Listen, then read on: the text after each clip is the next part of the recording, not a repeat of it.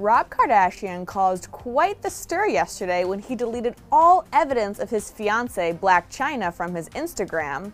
But not to worry, the two are still together. A source told E! News that Rob deleted all the pics because he and Chyna got into a fight. The insider said, quote, he was so pissed at how she spoke to him, so he deleted everything to hurt her. The couple is currently filming their E! spin-off docu-series called Rob and Chyna, and being on TV again is reportedly causing tension. However, Chyna, who was pregnant with their first child, silenced critics with a Snapchat video that showed off her 7 carat diamond ring. Do you think there's trouble in paradise? Tweet us at Star Magazine or let us know in the comment section.